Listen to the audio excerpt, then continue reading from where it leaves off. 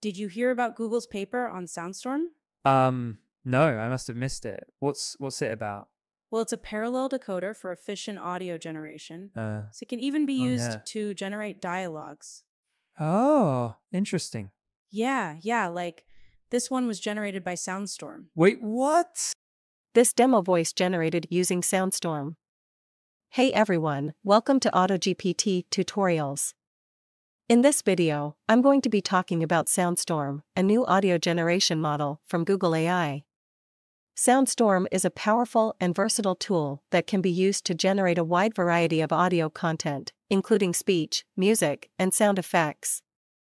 But that's not all, we have plenty of other exciting updates and tutorials to share with you in the future. So make sure to subscribe to our channel and hit the notification bell to stay up to date with all of our latest videos.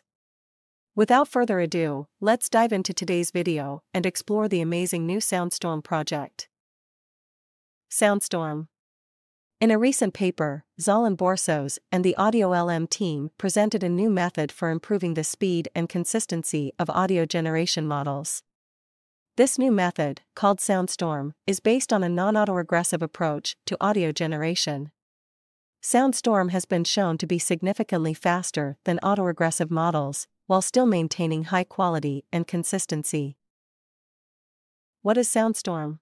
Soundstorm is a non autoregressive audio generation model. This means that it does not generate audio one token at a time, but instead generates the entire audio signal at once.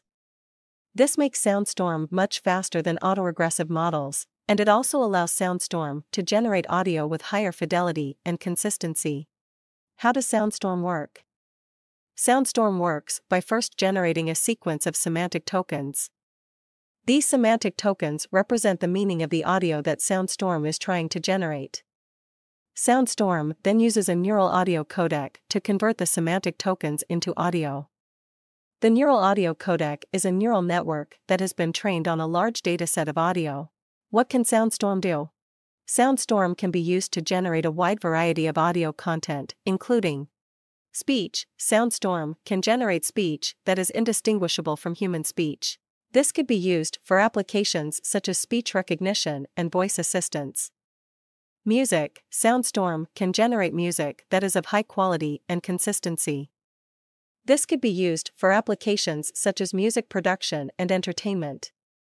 Sound effects Soundstorm can generate a wide variety of sound effects, such as explosions, gunshots, and footsteps. This could be used for applications such as video games and movies. Conclusion Soundstorm is a powerful and versatile audio generation model that can be used to generate a wide variety of audio content. Soundstorm is faster, more accurate, and more versatile than previous audio generation models. This makes it a valuable tool for a variety of applications. Thank you for watching this tutorial on the AutoGPT Tutorials channel. If you enjoyed this video, don't forget to like and subscribe for more updates on the latest AI tools and tutorials. If you have any questions or suggestions for future videos, please leave them in the comments below. And don't forget to check out our other videos for more informative and exciting content.